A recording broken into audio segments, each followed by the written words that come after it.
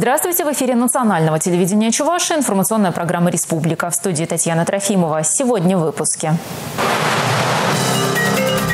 Производительность 360. В Нижнем Новгороде проходит второй федеральный форум, посвященный повышению производительности труда.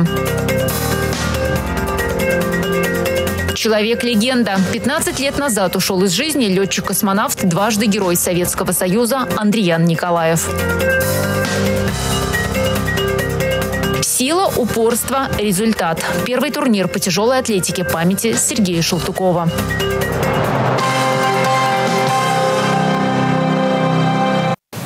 Каких результатов ожидают от реализации национального проекта повышения производительности труда? Что предлагают регионам эксперты Федерального центра компетенций?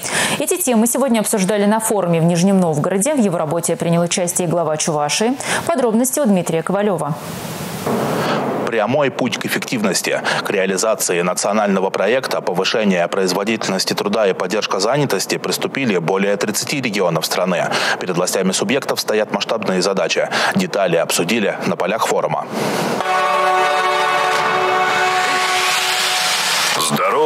Экономика. То, к чему мы стремимся. Наша первоочередная задача – сделать российскую экономику конкурентоспособной. От роста производительности зависит развитие экономики, отмечают спикеры форума. Стратегическая задача – повысить эффективность работы в промышленности и социальном секторе. На реализацию национального проекта заложены многомиллионные суммы. От инвестиций ожидают двойной отдачи. Именно повышение производительности труда, широкое внедрение передовых технологий и результатов научных исследований, формирование конкурентоспособных кадров являются ключевыми факторами устойчивого развития предприятий, укрепления экономического потенциала регионов и страны в целом. Решение насущных задач социальной сферы. Форум «Производительность 360» для региональных властей – повод перенять лучшие практики, отметил глава республики. Самое главное, наша задача в чем? Чтобы улучшать качество управленческих процессов для того, чтобы поднять доверие простого народа к органам власти. Вот это самый главный вопрос, ключевой вопрос и ключевая проблема. То, что здесь единая платформа создана и управленческой командой губернатора, и муниципальных образований, где живут на самом деле простые люди, по-другому говоря, на земле, вся эта единая платформа работает на качество оказания государственных и муниципальных услуг. В реализацию национального проекта Чувашия включилась в прошлом году, став пилотным регионом. Эксперты Федерального центра компетенции работают уже на семи предприятиях республики. На очереди еще 23. В итоге производительность труда должна вырасти более чем на 30%. Такую задачу обозначил Михаил Игнатьев. Производительность труда по тем производствам, где на самом деле специалисты работают, уже увеличивается в среднем по году на 15%. Это вот очень важный фактор. То есть это очень правильно. Остальные должны смотреть и подтягиваться. Тем более же организации участвуют не сырьевого производства. Это прежде всего обрабатывающее производство, где добавленная стоимость производится на интеллектуальном труде. И в перспективе мы хотим в эти процессы вовлечь 60 организаций Чувашской Республики. Это минимальное количество. Бережливые технологии, позволяющие повысить эффективность труда, осваивают и медики республики. Модернизация больниц, повышение квалификации врачей, перевод регистратуры в поликлиниках на электронный формат работы. Все это, отмечает министр здравоохранения региона, привело к сокращению очередей у кабинетов, но и потенциал еще большой. Э, в прошлом году 18 поликлиник, э, в этом году 4 поликлиники вошли в работу по принципу бережливого производства. Люди видят те изменения. И здесь э, мне хочется сказать, и открытая регистратура, и комфортная зона ожидания наших пациентов, цифровизация, это то, что мы сегодня можем. И электронная дистанционно, э, дистанционно через интернет записаться на прием врача-специалиста. Можно прийти записаться через информаты. Ну и, естественно, сильная наша сторона это была всегда цифровизация здравоохранения. То, что мы сегодня очень активно их используем, она дает свои плоды, но и удовлетворенность наших пациентов. Рост производительности, системная работа. Персональный ответ за реализацию проекта должны нести главы субъектов, отметил Сергей Кириенко. А вы знаете, что подписан указ президента, по которому у каждого главы региона появляются свои 15 показателей, которые точно, на которые влияние производительность труда оказывает очень серьезные. Я абсолютно уверен, что любой нормальный руководитель региона, когда он получает такой показатель, что сделает после этого? Он поставит такие показатели своим заместителям, министрам и главам ключевых муниципальных образований. И я уверен, честно говоря, что он в 2024 году не закончится, потому что а, процесс улучшения, он бесконечен. И самое главное, когда люди это начинают чувствовать, у них у самих начинают гореть глаза. Все инициативы участников форума лягут в основу региональных программ развития. Дмитрий Ковалев и Андрей Спиридонов, Республика из Нижнего Новгорода. Мне часто снятся родные шоршилы и звезды над ними. Сегодня день памяти третьего советского космонавта Андреяна Николаева. Он ушел из жизни 3 июля 15 лет назад. И с тех пор каждый год в этот день в его родном селе Шоршило Марпасадского района собираются жители района, гости, чтобы вспомнить, каким он был. Легендарный космонавт, наш земляк, прославивший Чувашию на весь мир.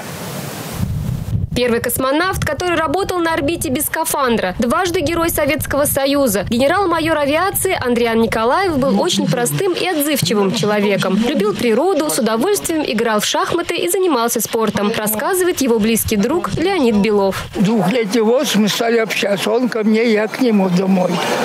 Потом начали вместе и, и рыбачить, и охотничать. У, учились в классе, Шошин в одном классе 7 лет. Человек был очень общительный, очень простой был. Самый простой, общительный, мягкий.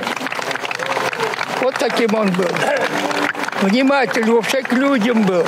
В селе Шоршилы о герое-космонавте знает каждый. Дом-музей, который находится в его родном селе, никогда не пустует. Частые гости – школьники. Для них биография и судьба обычного парня из небольшого чувашского села – яркий пример того, что можно добиться в жизни, имея цель. Я хочу быть как Андриан Григорьевич Николаев, потому что он дважды герой Советского Союза.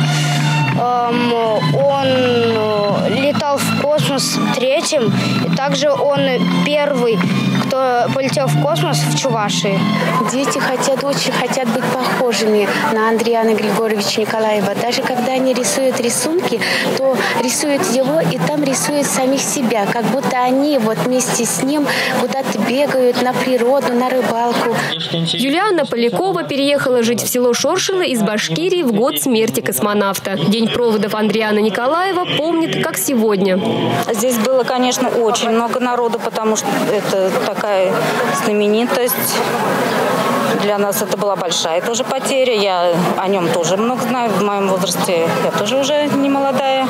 Знала до этого, кто Андриан Григорьевич Николаев. И для меня тоже, с одной стороны, это была потеря. И вот я сюда сегодня привела внучку, чтобы маленько познакомился с историей, кто этот человек, маленько объяснять надо уже начинать. Андриан Николаев до последних дней своей жизни вел активную общественную жизнь. Писал книги, встречался с молодежью, был участником многих важных событий, происходящих в республике. Скончался в Чебоксарах на 75-м году жизни. Прах третьего космонавта покоится на родной земле, которую он очень любил, в селе Шоршилы. Ольга Алексеева, Павел Редков, Республика. Чебоксары получат более трех миллиардов рублей в рамках проекта развития системы водоснабжения и водоотведения в городах Российской Федерации. Эти средства столица республики выделит новый банк развития БРИКС. Чебоксары еще четыре города вошли в число финалистов конкурсного отбора. Накануне в Москве состоялось официальное подписание трехстороннего договора между Минстроем и городами-победителями. Проект рассчитан на 6 лет, средства направят на 14 проектов. Реконструкцию загородного коллектора, строительство сетей в частном секторе, модернизацию насосных станций и другие.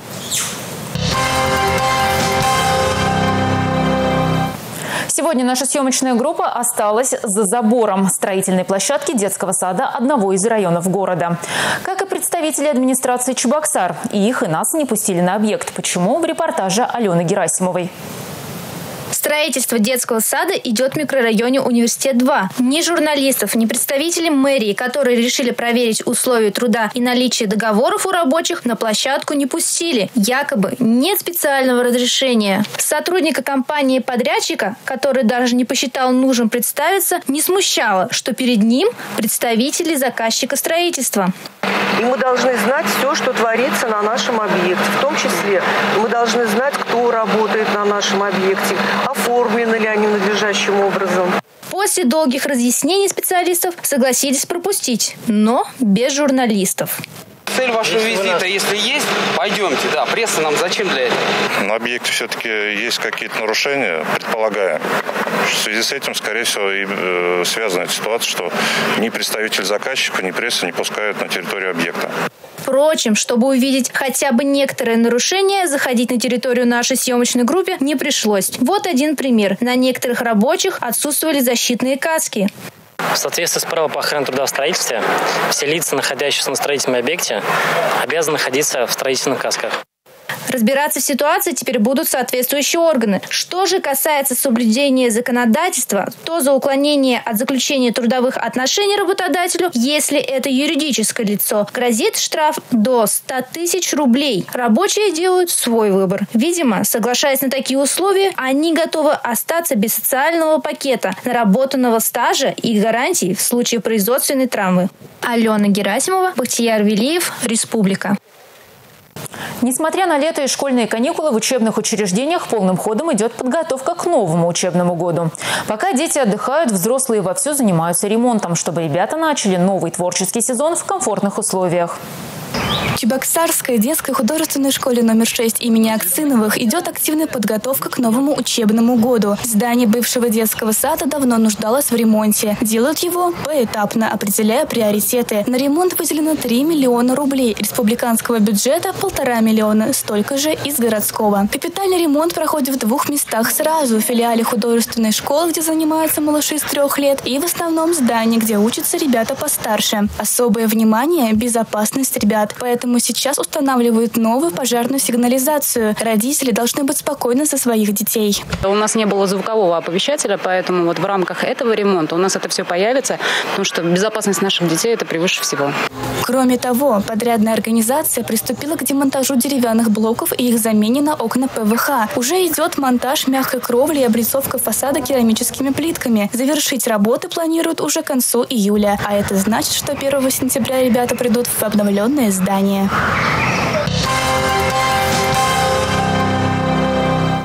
Третьего июля 33 года назад Чебоксары указом Президиума Верховного Совета СССР были награждены Орденом Трудового Красного Знамени.